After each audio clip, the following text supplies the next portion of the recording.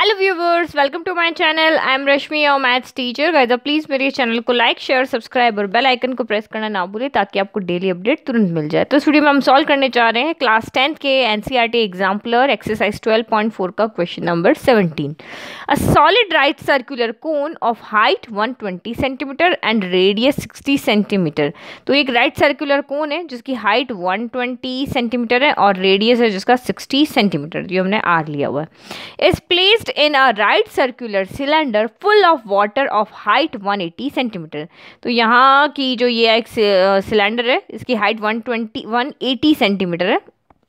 और ये पूरा पानी से क्या हुआ? भरा हुआ है। That it touch is the bottom फिर आपने क्या किया है? इसमें ये वाला जो कोन है हमारा, इस कोन को आपने इसके अंदर इस तरह से रखा है, यहाँ पे पूरा। और इस तरह से रखा है कि ये इसकी बॉटम को क्या कर रहा है? टच कर रहा है। ठीक है? Find the volume of the water left in the cylinder if the radius of the cylinder is equal to the radius of the cone. यानी कि जितनी रेडियस इसकी है उतनी ही रेडियस यहाँ पे सिलेंडर की है तो आपको फाइंड क्या करना है सबसे पहले कौन है एक टैंक है, पूरा सिलेंड्रिकल शेप का जो पानी से पूरा भरा हुआ है, इस कोन को इस सिलेंडर के अंदर ऐसे रखना है कि ये इसकी बॉटम को पूरा टच करे। अब आपको पता है ये पूरा पानी से भरा हुआ है, इसके अंदर मैं अगर कोई भी चीज़ डालूँगी तो ऑब्वियस है पानी मेरा बाहर आए गई, क्योंकि कोई क्योंकि ये कंप्लीट फिल किया हुआ है, अब इसके अंदर कोई भी चीज़ डालोगे तो पानी हमारा इस तरह से यहाँ पर बाहर आ जाएगा, ठीक है? ये बाहर स्पिल हो जाएगा। तो आपको यहाँ पर क्या फाइंड करना है? कि find the volume of the water left in the cylinder यानी इसको जब हम यहाँ पे कोन को अंदर रख रहे हैं, पहले इतना पानी था, अब इसको रखने के बाद में कितना पानी यहाँ पे बचा? क्योंकि ये पानी यहाँ से बाहर गिर गया, ये तो आप खुद ही घर पे एक्सपेरिमेंट करके देखते हो, पूरे फुल ग्लास पानी का भरा हुआ है। उसमें चाहे आप एक इरेजर भी डाल दोगे या कोई भी चीज़ जिसमें वेट वो डालोगे तो ग्लास में से पानी बाहर आएगा ही आएगा। तो इसमें ये फिजिक्स का एक रूल है, जो आपका यहाँ पे काम आएगा, उसी से ये क्वेश्चन आपका सॉल्व होगा कि जिस, कोई भी ऑब्जेक्ट जब आप पानी के अंदर डाल रहे हो तो जितना उसका वॉल्यूम होगा, उतना ही पानी उसमें से बाहर निकलेगा, ठीक है? यानी जितना इस कोन का वॉल्यूम होगा, उतना ही पानी इस टैंक में से सिलेंड्रिकल टैंक में से इसके वॉल्यूम के इक्वल का पानी इस टैंक में से बाहर आएगा। तो मतलब इस सिलेंडर के अंदर कितना पानी है? यानी कि इसको अंदर रखने के बाद में इसमें कितना पानी बचा? तो जितना भी वॉल्यूम का सिलेंडर है यानी कि ये जो पूरा सिलेंडर है उसमें से अगर मैं कोन के वॉल्यूम को सब कर दूँ क्योंकि जितना कोन का वॉल्यूम है उतना पानी बाहर आ चुका है।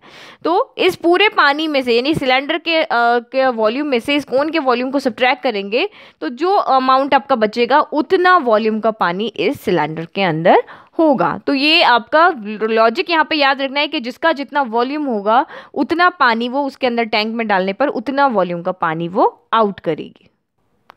तो given height of cone H ले लिया। रेडियस हमने आर ले लिया, फिर height of cylinder capital H one eighty ले लिया, फिर आपको क्वेश्चन में गिवन है दोनों का रेडियस इक्वल है तो इसीलिए दोनों की रेडियस हमने स्मॉल आर ही रखी सिक्सटी सेंटीमीटर फिर आपको यह रीज़न लिखना है। Now cone is placed inside the cylindrical vessel full of water so the volume of water from cylinder will flow overflow is equal to the volume of cone तो जो अभी मैंने आपको एक्सप्लेन किया था, वही मैंने राइट किया है कि कोन को जब आप पानी से भरे हुए सिलेंडर में डालोगे तो वो अपने वॉल्यूम के इक्वल जितना इसका वॉल्यूम होगा, उतना वाटर इसमें से ओवरफ्लो कर देगा। तो इसीलिए आपका यहाँ पे volume of water left in cylinder तो वॉल्यूम जितना पानी सिलेंडर के अंदर बचा हुआ है, वो कितना होगा? इस पूरे सिलेंडर के वॉल्यूम में से, इस कोन के वॉल्यूम को आप सब कर दो तो उतना पानी सिलेंडर के अंदर बचा हुआ होगा। तो volume of water in cylinder यानी वॉल्यूम ऑफ़ सिलेंडर होता है आपका पाई आर स्क्वायर हाइट आपकी सिलेंडर कैपिटल एच है माइनस वॉल्यूम ऑफ़ कौन तो one by three pi R square H हो गया। जिसका जो हमने यहाँ पे लिया है वही आपको राइट करना है। इसका स्मॉल आर स्मॉल एच है तो हमने स्मॉल आर स्मॉल एच लिया, या स्मॉल आर कैपिटल एच है तो ये ले लिया। अब अब यहाँ पे देखो कॉमन आपका यहाँ पे क्या आ रहा है? Pi R square pi R square यहाँ से आपका कॉमन आ गया। तो पाई आर स्क्वायर हमने कॉमन ले लिया कैपिटल एच माइनस यहाँ से एच बाय थ्री बच गया। ये एच बचा और ये वन बाय थ्री तो H into one H by three हो गया।